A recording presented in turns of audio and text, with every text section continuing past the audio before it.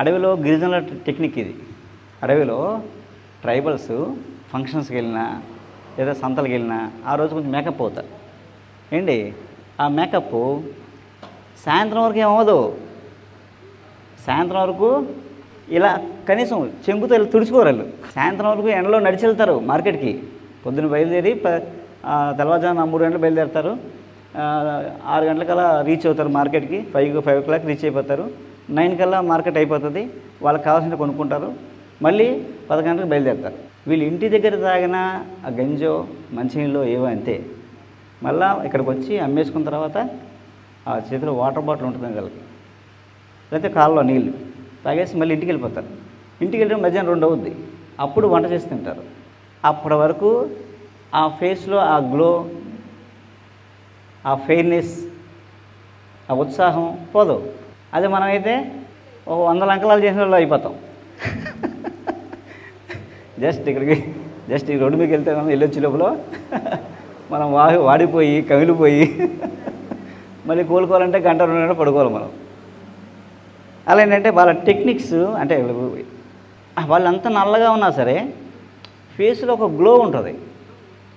మనం ఫేస్ చూడి చూడడానికి చూడముచ్చటగా ఉంటుంది. అలాగనేమి వాళ్ళు పెద్ద పెద్ద అంటే గంటలు గంటలు మేకప్ మీద ఏముండరు. విత్ ఇన్ సెకండ్స్ స్నానం చేసి బయటకు వస్తారు. బొట్టు పెట్టుకునే ముందు వాళ్ళ ఇంటి దగ్గరలోనే చెట్లు ఉంటాయి. ఈ క్రీమ్లో వేసాం అన్నమాట. ఓ ముళ్ళు ఉంటుంది. ముళ్ళ బూరుగా. బొంబాక్ శివ అని బూరుగు చెట్లలో ముళ్ళ బూరుగు చెట్లు ఉంటాయి. ఆ ముళ్ళు ఉంటాయి. ఆ ముళ్ళు వెరీ హార్డ్ చాలా గట్టిగా ఉంటుంది.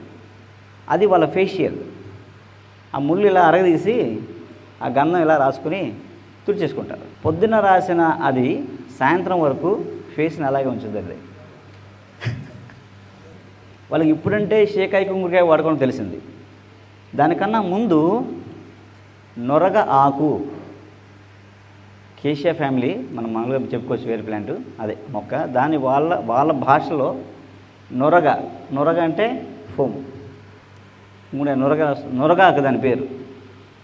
అలా వాకు స్నానంకి వెళ్ళినప్పుడు అది వాగు పక్కన ఉంటాయన్నమాట.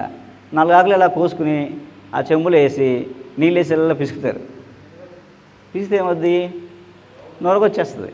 ఆకుల రసం అంతా వాటర్లోకి వెళ్ళిపోద్ది. దాంతో చేస్తారంట స్నానం హెయిర్ హెయిర్ ఇక వాళ్ళు ఏంటంటే ఆయిల్ పెట్టకపోయినా తల దోవపోయినా రెండు రోజులైనా ఆ వేసిన మూడు వేసినట్టే ఉంటుంది అనమాట హెయిర్ సిల్కీగా పట్టులా జారిపోద్ది అనమాట వాళ్ళకి అరవై డెబ్బై ఏళ్ళు వచ్చిన తల నెరదు తొమ్మిదిలో మెరుస్తాయి చెప్తారు.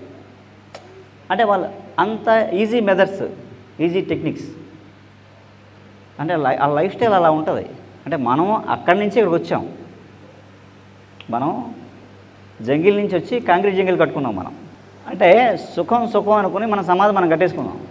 అవునా కదా? అలా ఏంటంటే వాళ్ళ దగ్గర అలాంటివి ఎన్నో. పుట్టమట్టితో తలస్నానం చేస్తారు. షాంపూ లేదనుకోండి పుట్టమట్టి రాసి స్నానం చేసేస్తారు. మొత్తం అంతా పోద్ది. క్లీన్ అయిపోద్ది ఉంటుంది బాడీ అంతా పుట్టమట్టి రాసి స్నానం చేసేస్తారు. ఇక సబ్బు ఇవ్వక్కర్లేదు అలా అలా బోళ్ళు ఉంటాయి. యాక్చువల్గా ఈ క్యాంపు మెడికల్ క్యాంప్ అని చెప్పాను అనుకోండి ఈ పాటికి ఇక్కడ ఇదాన్ని కిటకిటలాడుతుంది పోనీ ఒక గంట మొక్కల మీద క్లాస్ ఉంటుంది తర్వాత మెడికల్ క్యాంప్ ఉంటుంది అని రెండు మిక్స్ చేసి పెట్టామనుకోండి అంటే ఇంతకుముందు ఇవన్నీ పడ్డాను నేను. మిక్స్ చేసి పెట్టామనుకోండి నూటికి తొంభై తొమ్మిది మందులుగా వస్తారు. దీనికి రారు ఇది అక్కర్లేదు. ఇది ఎప్పుడు కావాలి? వినాయక చవితి రోజు ముందు రోజు సాయంత్రం గుర్తొస్తుంది మనకి. అసలు వినాయక చవితి పూర్వం ఏంటంటే ఒక పదిహేను రోజుల ముందు నుంచి దాని మీద ఎక్సర్సైజ్ చేసేవారు.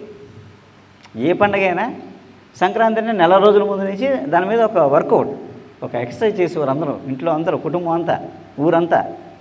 అలా ప్రతి పండగ గురించి కొంత వర్క్ ఒక ఎక్సర్సైజ్ ఉండేది దాని మీద.